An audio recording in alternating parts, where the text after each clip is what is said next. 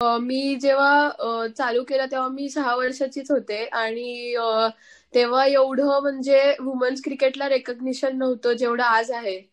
त्यामुळे तिकडे म्हणजे मला ग्राउंडवर जायचं म्हणल्यावर मला असं काहीतरी करायला लागणारच होतं केस लपवणे. पण ऍट द सेम टाइम मला केस पण कापायचे नव्हते.